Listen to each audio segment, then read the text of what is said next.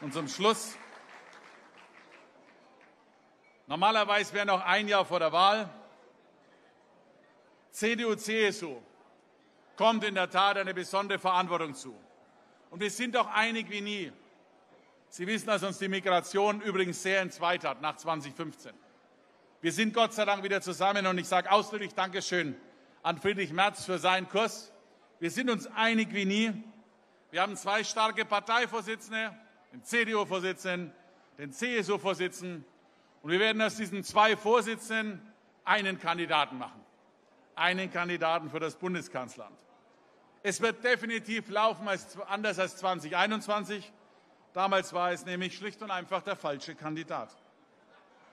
Wer es wird, wir werden uns einigen. Sie wissen, laut geschichtlich ist es so, die CSU kann nur, wenn die CDU einen bittet. Also Boris, kannst du mal was aufschreiben?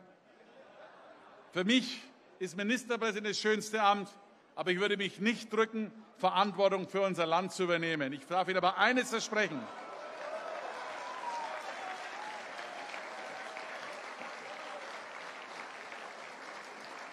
Ministerpräsident oder Kanzler, so oder so, wir sind ein Team, wir sind eine Achse.